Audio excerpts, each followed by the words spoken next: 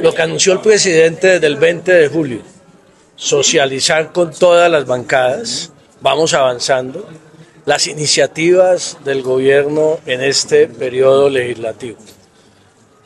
Hay que buscar un acuerdo en los distintos temas e iniciativas del gobierno, hay que concertar,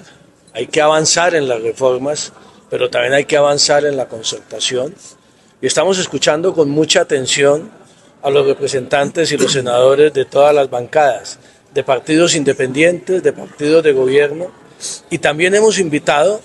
y esperamos que nos acepten la invitación, a las bancadas de oposición la semana entrante. Con ellos terminamos toda esta ronda de socialización de los principales proyectos que vamos a presentar, diría, en esta primera tanda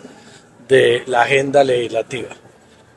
Mañana se radica la ponencia de la reforma laboral para que comience su discusión en la plenaria de la Cámara y la próxima semana,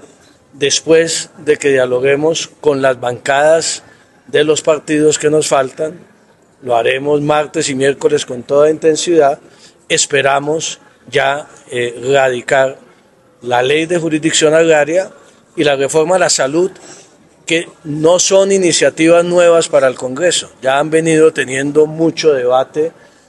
eh, tanto el proyecto de ley de jurisdicción agraria como la reforma a la salud, que obviamente van a tener ajustes y van a tener cambios recogidos de toda esta socialización con las distintas bancadas en el Congreso. Yo quiero